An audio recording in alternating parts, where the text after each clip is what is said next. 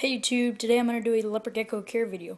And the very first thing you're going to need is you're going to need some carpet. I wouldn't recommend sand, especially if you're feeding them the way I feed them, with live mealworms or live crickets. And then you're also going to need a water bowl, and they're gonna, you're going to need enough for them to soak into. And the next thing is um, decor, and you need a low hide, and you need another hide. This is a cave that they can hide in right there.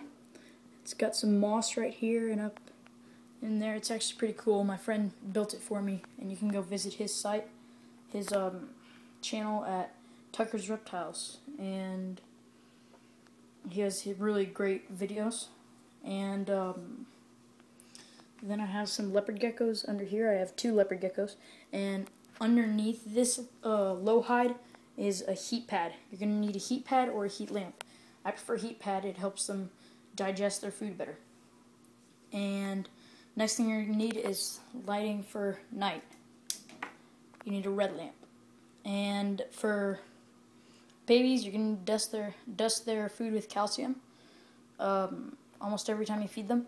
And but with adults, you you do it um, every week or every two weeks.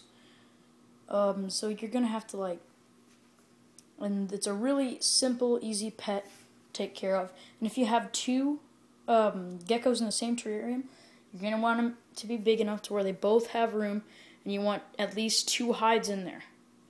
One cool, one warm. And the reason you need a bigger hide for two is so if you see any aggression, you can slap a divider right in between them. So that, and then put one on one side, one on the other and I haven't seen much aggression from them, so they're fine.